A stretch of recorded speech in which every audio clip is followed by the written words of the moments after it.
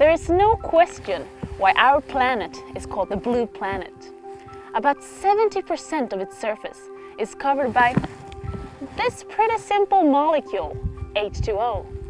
And that is good for us and all other life on Earth because every single organism needs water to survive.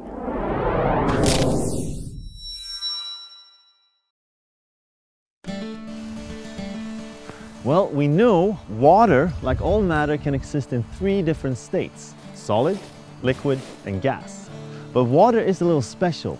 You see, in between water molecules, there are bonds called hydrogen bonds that hold the water molecules together.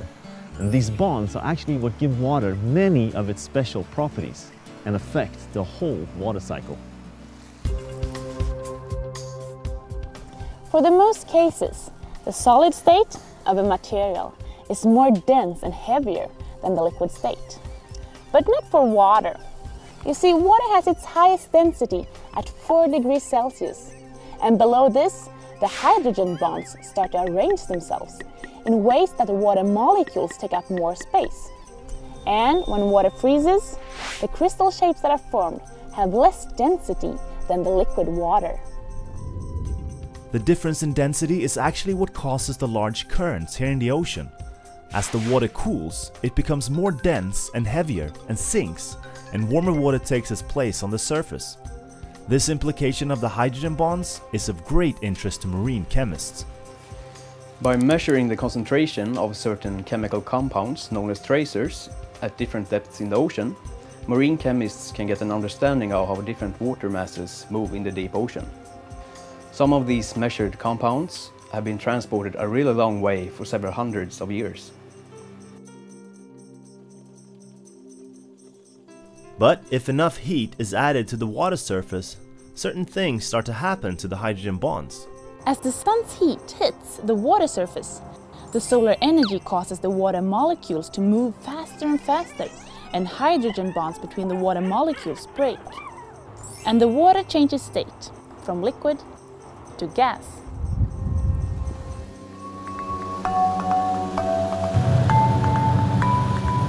As the water molecules rise, they encounter colder temperatures, which makes them slow down and come together again, allowing new hydrogen bonds to be formed between them. This turns water vapor back to liquid water, or if it's cold enough, hail and snow. But the water molecules encounter other things up here too. For example, atmospheric chemists are finding that particles in the air, like dust and pollutants, can actually affect clouds. It turns out that with these particles, cloud droplets can freeze at higher temperatures than pure water droplets do. So particles in the atmosphere have an effect on cloud formation and the entire Earth climate system. But how? Well, that's exactly one of the things we're trying to find out. Well, at some point we know that the water up here in the atmosphere will get too heavy and fall back down to Earth again as precipitation. Time for me to do the same.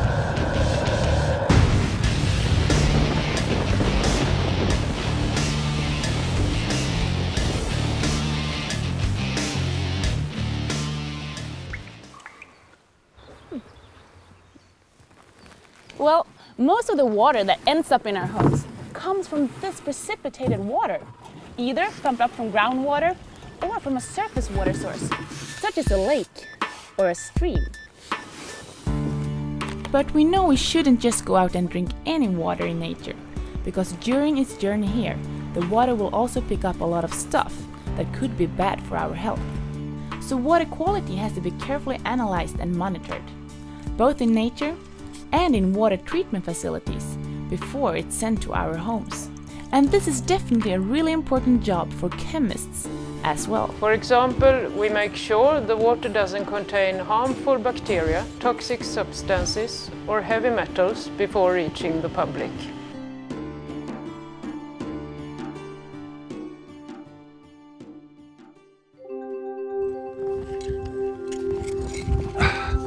So we have learned how the water cycle is filled with adventure and chemistry.